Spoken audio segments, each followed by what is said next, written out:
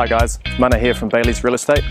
Located on the pristine northern coastline of Waiheke Island is Enclosure Bay.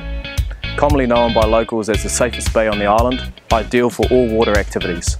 On offer today is a beachfront holiday home sitting on top of that bay. The address is 2 Empire Ave. Imagine living across the road from this.